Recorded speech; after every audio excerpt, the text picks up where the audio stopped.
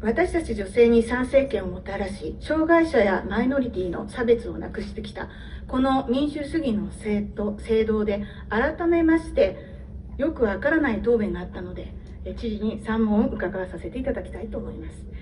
情報公開1丁目1番地ですが、葛西臨海水族園本館がいつの間にか新設計画になった過程ものり弁で分かりませんでした。ご都合主義ののり弁、日の丸を使い分けている実態のどこが真の情報公開なのかご説明ください。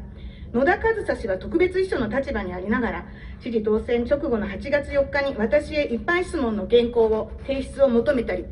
都議選直前の4月に公認取り消しをちらつかせて自由を守る会回答を強要すると非行為を重ねてきたことは知事は知っていたはずです。これが野田氏の行動力でしょうか。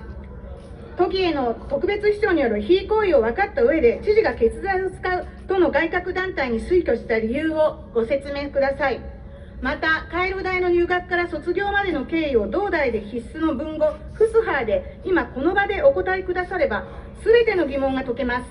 昨年 IOC 調整委員会でまず英語で持論を主張されたように、まずフスハーでお話の上、日本語でお答えいただけることがどうしてもお出しにならない証明書より明白に都民やアラビア語圏、世界中の人々が本当に回路大を卒業したと是非もなく納得できますことからお願いするものです。以上をもちまして、小池知事1期4年最後の質問、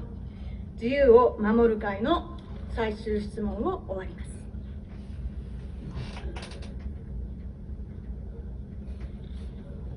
3問の再質問をいただきましたが、すべてすでにお答えした通りでございます。